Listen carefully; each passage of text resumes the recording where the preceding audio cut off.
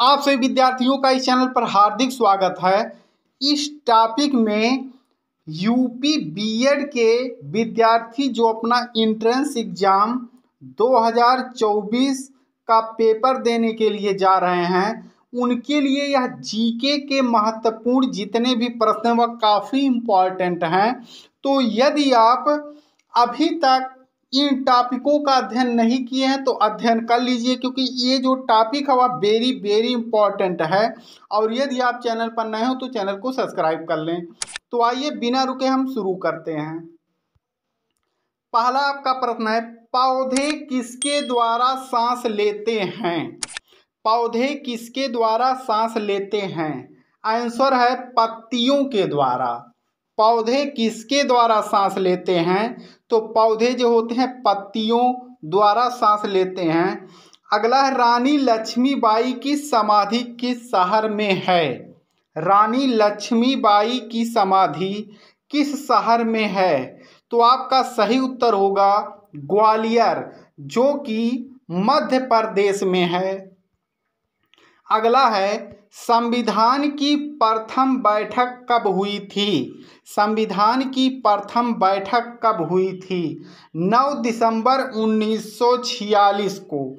इसके जो अध्यक्ष थे संविधान के, डॉक्टर राजेंद्र प्रसाद थे और इसके जो आपके अस्थाई अध्यक्ष थे।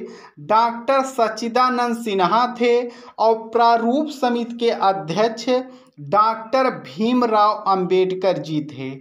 अगला प्रश्न है, अंतरिम सरकार का गठन कब हुआ था? अंतरिम सरकार का गठन कब हुआ था? एक अक्टूबर 1946 को हुआ था। गांधी इरबिन समझौता कब हुआ था? गांधी इरबिन समझौता कब हुआ था? तो यह 1931 में हुआ था। अगला है, काकोरी ट्रेन डकैती का नायक कौन था? जो पूरा विख्यात है काकोरी, जो आपका ट्रेन कांड हुआ था, इसके नायक कौन थे? तो राम प्रसाद बिस्मिल जी थे। अगला है स्वराज दल की स्थापना किसने की थी? स्वराज दल की स्थापना किसने की थी? तो इसकी स्थापना मोतीलाल नेहरू और सी आर दास ने की थी। असहयोग आंदोलन के समय भारत में वायसराय कौन था? यानी भारत का गवर्नर कौन था? तो उस समय लॉर्ड चेम्स फोर्ड थे। गदर पार्टी की स्थापना किस वर्ष में हुई थी? गदर पार्टी की स्थापना किस वर्ष में हुई थी? 1913 में। अगला है, बंगाल बिहार से कब अलग हुआ? बंगाल बिहार से कब अलग हुआ? 1912 में अलग हुआ था। मुस्लिम लीग ने मुक्ति दिवस मनाया था। मुस्लिम लीग ने मुक्ति दिवस मनाया था उन्नीस सौ उनतालीस में। भारत की संविधान सभा किसके अनुसार गठित की गई? भारत की संविधान सभा किसके अनुसार गठित की गई? तो यह आपका कैबिनेट मिशन योजना के अनुसार इसका गठन किया गया। भारतीय संविधान सभा, भारतीय संविधान सभा की प्रारूप समिति के अध्यक्ष कौन थे? तो ये आपके डॉक्टर भीमराव अंबेडकर थे। संविधान की प्रारूप समिति के समक्ष प्रस्तावना का प्रस्ताव किसने रखा? संविधान की प्रारूप समिति के समक्ष प्रस्तावना का प्रस्ताव किसने रखा?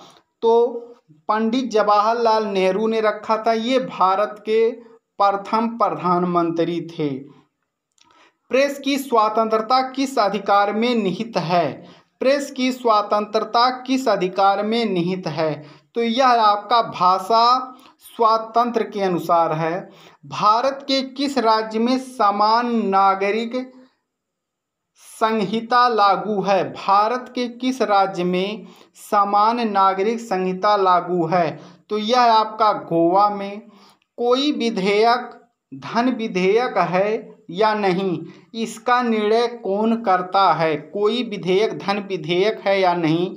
इसका निर्णय कौन करता है? तो लोकसभा अध्यक्ष करते हैं और वर्तमान में श्री ओम बिरला जी इसके अध्यक्ष हैं। अगला है, कानूनी विषय पर राज्य सरकार को कौन परामर्श देता है? तो एडवोकेट जनरल देते हैं। अगला आपका है, उच्च न्यायालय के न्यायाधीश। उच्च न्यायालय के न्यायाधीशों की नियुक्ति कौन करता है? तो इनकी नियुक्ति जो होता है वह संसद के द्वारा होता है। भारत के किस राज्य में पहली बार गैर कांग्रेसी सरकार बनी थी? भारत के किस राज्य में पहली बार गैर कांग्रेसी सरकार बनी थी? तो यह आपका केरल में। भारतीय रिज़र्व बैंक का राष्ट्रीयकरण किस वर्ष हुआ था? उन्नीस सौ उनचास में भारतीय रिज़र्व बैंक का राष्ट्रीयकरण किस वर्ष हुआ था? तो एक अप्रैल उन्नीस सौ उनचास को हुआ था। हिमालय पर्वत श्रृंखला किसका उदाहरण है? हिमालय पर्वत श्रृंखला किसका उदाहरण है? तो यह एक बलित पर्वत है या नया पर्वत भी कह सकते हैं। कौन सी पर्वत श्रृंखला विश्व में सबसे बड़ी है? कौन सी पर्वत श्रृंखला विश्व में सबसे बड़ी है? तो सबसे बड़ी आपकी एंडीज पर्वत श्रृंखला है। अगला आपका प्रश्न है, कौन सी विश्व की सर्वाधिक गहरी झील है? कौन सी विश्व की सर्वाधिक गहरी झील है? तो वह आपका बैकाल झील है, जो कि यूरोप महाद्वीप में है। विश्व का सबसे ऊँचा जलप्रपात है। विश्व का सबसे ऊँचा जलप्रपात है तो वह आपका एंजील है। विक्टोरिया जलप्रपात किस नदी से संबंधित है? विक्टोरिया जलप्रपात किस नदी से संबंधित है? तो यह आपका जेम्बेजी से संबंधित है। विश्व का सबसे बड़ा द्वीप कौन सा है? विश्व का सबसे बड़ा द्वीप कौन सा है? तो ग्रीनलैंड है। किस जीव को प्रशांत महासागर का चौराहा कहा जाता है? ये जीव नहीं, ये द्वीप है। क्या है? द्वीप किस द्वीप को प्रशांत महासागर का चौराहा कहा जाता है? तो यह आपका हवाई द्वीप होगा। अगला आपका प्रश्न है, संसार की सबसे महत्वपूर्ण जहाजी नगर है, जिसमें अधिक से अधिक जहाज़ जाते आते रहते हैं। तो वह आपका स्वेज नहर है। एनू एनू जनजाति कहाँ पाई जाती है? एनू जनजाति कहाँ पाई जाती है? तो यह आपका जापान में पाई जाती है। तो वेरी इंपॉर्टेंट टॉपिक है। आप सभी लोग इसको अच्छे से तैयार कर लें, क्योंकि आपका जो एग्ज़ाम है, वह जल्द ही होने वाला है। आप सभी विद्यार्थियों का वीडियो देखने के लिए धन्यवाद।